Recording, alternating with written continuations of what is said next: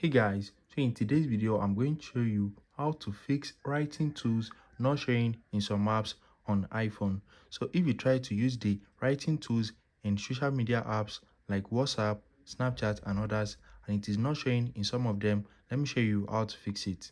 So let me open up my snapchat and let's paste something in my text box.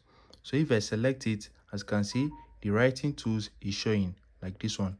But if i try it on whatsapp it's not going to show as you can see it is not showing. So the reason for this is because this is still a new feature and these apps still have to integrate it into their application.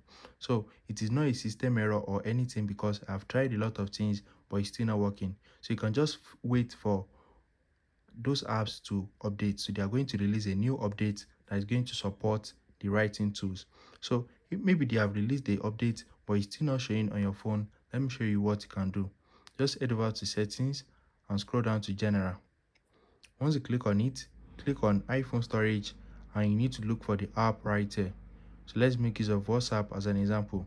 So this is not going to delete your chat or anything. It's just going to keep all your data and delete the application itself. So just offload and after offloading click on reinstall. So you're not going to lose any chat or any document and data.